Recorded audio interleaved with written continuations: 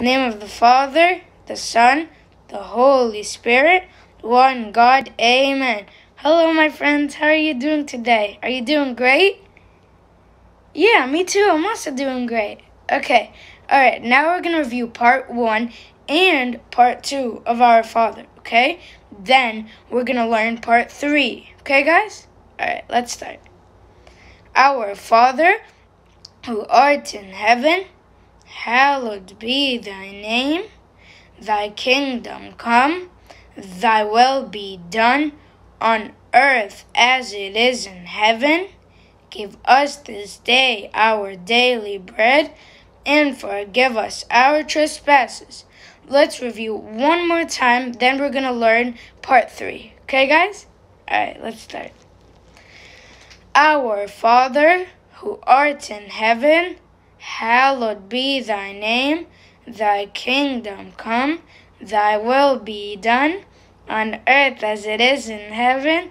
Give us this day our daily bread, and forgive us our trespasses. Okay, guys? Alright, now we're going to learn part three. Alright. As we forgive those, as we forgive those, as we forgive those who trespass, who trespass, who trespass against us.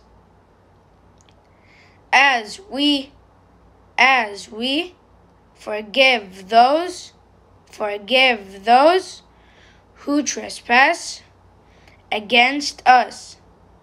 Again, as we forgive those who trespass against us. Okay, guys? All right. One more time. Last one. Okay, guys? Okay. All right.